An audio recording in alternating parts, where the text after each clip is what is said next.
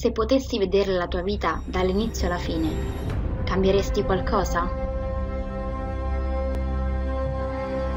Questa è la domanda chiave di Arrival, il film americano di fantascienza del 2016 diretto da Denis Villeneuve, basato sul breve racconto del 1998 Storie della tua vita di Ted Chang.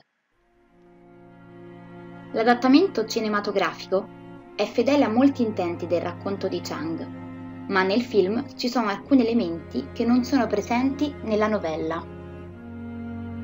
Sia il breve racconto che il film seguono la stessa storia di un'esperta linguista scelta dall'esercito degli Stati Uniti per tradurre il linguaggio di una razza aliena, chiamata Eptapodi, giunta improvvisamente sulla Terra. Nel breve racconto lei è un'esperta linguista ma non viene mai specificato cosa le faccia nella vita. Nel film si vede che lei è una professoressa di linguistica presso un'università. In entrambi il personaggio principale, Louis Banks, interpretato da Amy Adams, inizia a raccontare una storia a sua figlia riguardo alla sua vita. Da un punto di vista narrativo, Storia della tua vita è narrato in modo molto diretto, mentre Arrival è molto più toccante e misterioso. Entrambi seguono la storia cronologica del lavoro di Lewis a contatto con gli eptapodi, narrando con la tradizionale prima persona. Ma ci sono alcune parti in cui la grammatica passa tra frasi al passato e al futuro.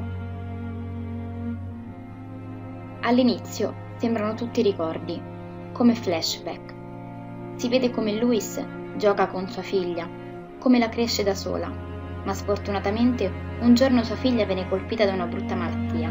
Sembra si tratti del cancro, anche se nella novella lei muore accidentalmente scalando una montagna.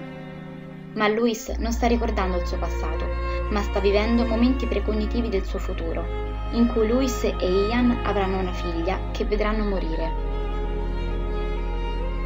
Ma chi è Ian? Ian è l'astrofisico che aiuterà Louis a lavorare per l'esercito degli Stati Uniti per il colonnello Weber riguardo alla missione degli alieni. Ma dall'inizio non sembrano andare così d'accordo. Language is the foundation of civilization. It's the glue that holds the people together. It's the first weapon drawn in a conflict. What's wrong? Well, the cornerstone of civilization is language and science. Per quanto riguarda questi strani alieni, gli ettapodi, che risiedono in un'ovale struttura nera, Lewis decide di adottare un approccio monolinguistico per cercare di scoprire perché loro siano qui, insegnando loro la grammatica del linguaggio umano, con l'idea di riuscire a capire le forme e basi per poter formulare una domanda.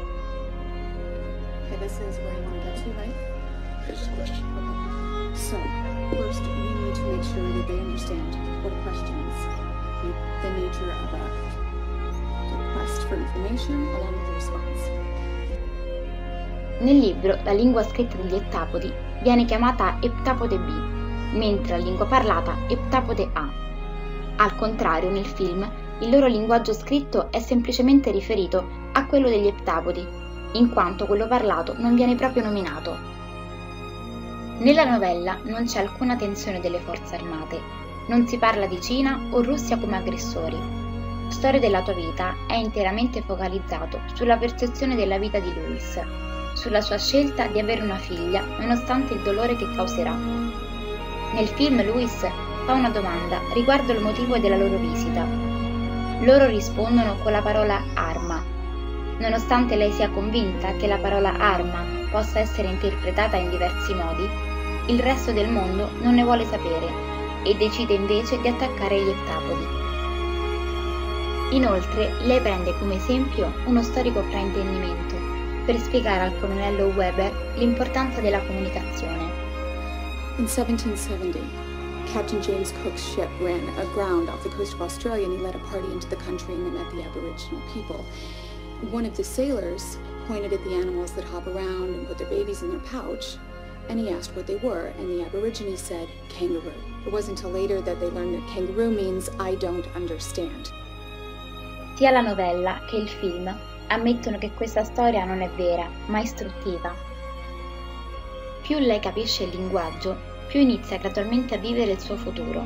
Infatti continua a fare visioni su sua figlia. Lei comprende che umani e ptapodi percepiscono il tempo in modo differente. Gli umani seguono un ordine sequenziale di passato, presente e futuro. Gli eptapodi ne seguono uno non lineare. La loro scrittura circolare non ha né un inizio né una fine, ed è questo il motivo per cui loro sono capaci di vedere tutti gli eventi nello stesso momento. Infatti il film ruota attorno all'ipotesi di Sapir-Whorf, che afferma che il linguaggio che utilizziamo per esprimerci riflette il nostro modo di pensare. E quali sono i nomi degli eptapodi? Nella novella sono chiamati Flapper e Raspberry. Nel film Abbott e Costello, coppia comica americana nota in Italia come Gianni e Pinotto ma la cosa strana e interessante è che nella versione italiana del film i due alieni vengono chiamati Tom e Jerry, forse perché Abbott e Costello non sono così famosi nella cultura italiana. Ora vi starete chiedendo qual è il nome della figlia di Louis. Il suo nome è Anna.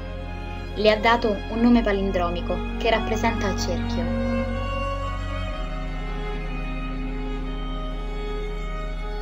e tutto ruota intorno allo stesso punto. La storia racconta che conoscere il futuro non sminuisce affatto il significato dietro una scelta che prenderemo oggi.